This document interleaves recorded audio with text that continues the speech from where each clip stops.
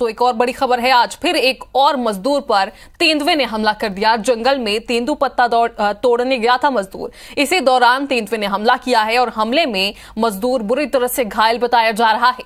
अमरावत घाटी की यह घटना है। डीएफओ विजय कुमार ने इस घटना की पुष्टि भी कर दी है। डीएफओ ने तेंदुए से दूर रहने की अपील की है लोगों से, ग्रामीणों से, और खास तौर पर इससे पहले भी तेंदुए ने यहाँ अटैक किया था। एक बार फिर से मजदूर पर तेंदुए ने अटैक किया है और मजदूर बुरी तरह से घायल है। फ़िलहाल इलाज जारी है, लेकिन वहाँ डीएफओ ने अपील भी की है लोगों से।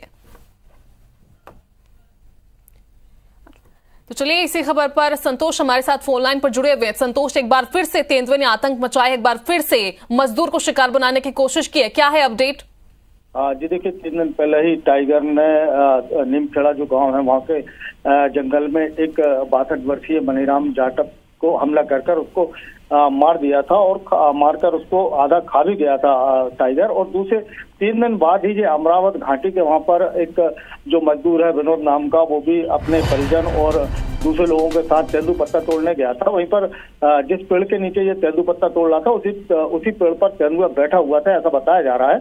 और उतरते समय तेंदुए ने इसके ऊपर हमला किया, चूँकि वहाँ पर लोग ज़्यादा थे, उन लोगों ने हल्ला गुल्ला किया तो तेंदुआ वहाँ से भाग गया। ये तो गनीमत रही कि विनोद आज जीवित है और उसका इलाज अभी जिला अस्पताल में होने के बाद उसको घर पर भेज दिया।